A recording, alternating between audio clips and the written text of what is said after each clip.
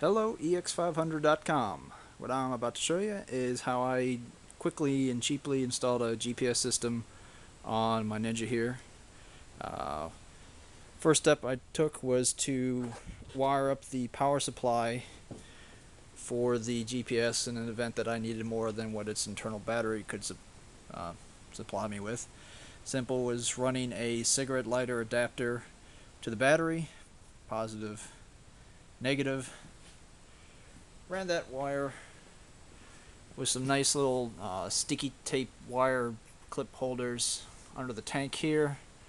Under here, I exposed the uh, fuse connection here uh, for easy access maintenance if I ever need to depower the uh, plug up front. Uh, since there is no on-off switch, this is my on-off switch.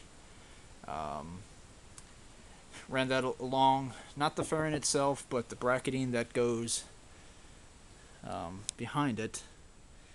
And then, let me see if I can get my little flashlight here. Uh, zip tied the cigarette lighter to the bracketing here. Uh, connected the power supply cigarette adapter from the GPS into that.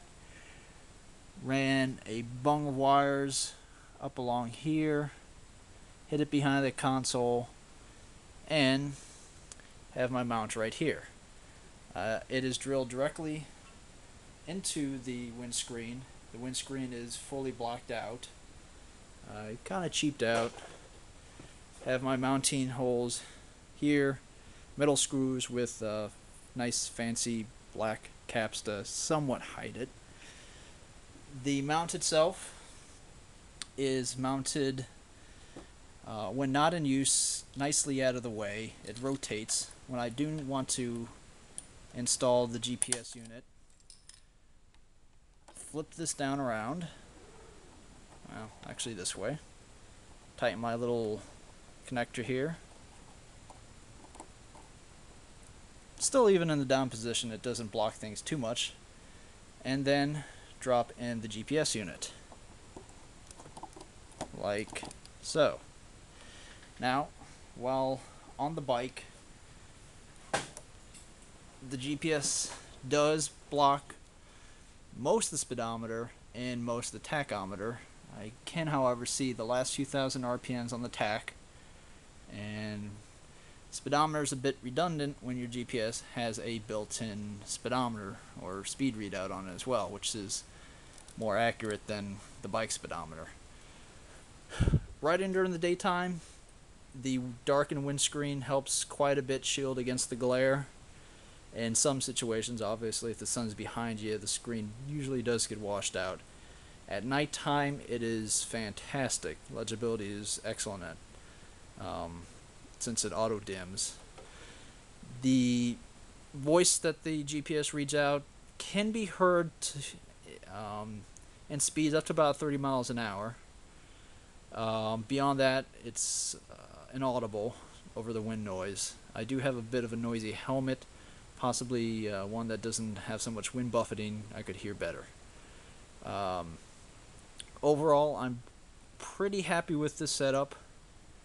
Um, it works quite well. I've had it for about a month, and the only issue I've run into so far is the vibrations and the um, dirt and dust have gotten into the uh, USB PowerPoint port for the GPS unit and just need the occasional blast out with some compressed air and um, actually tightening, squeezing the connectors in a little bit better to uh, make better power connection.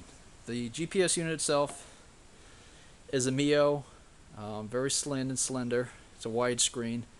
Um, it fits quite well. The bracket, the mounting base for the unit is small, lightweight, and I do like the fact that it quickly gets out of the way and it doesn't block the gauges at all. Um, GPS itself is not a very good one, unfortunately. I can't recommend Mio as a GPS. Uh, Direction-wise, it's pretty good. After purchase support is terrible. You can't buy new maps for these things unless you have the most recent unit, which you shouldn't need new maps for anyways. So, um, the setup works good. The GPS not so much. Um, I like it. Makes getting around places I haven't been before a lot easier. Um, and it's ideal for running around in city speeds because you can still hear the thing too if you even if you can't see it because it's washed out. Um, install was easy. Just wire it up, hide the wires. Um, an extra windscreen was nice, so I can revert this back to stock if I want to get rid of it. I like it, and that's it. Enjoy. Hope you learned something. Um, I'm gonna go ride. Bye.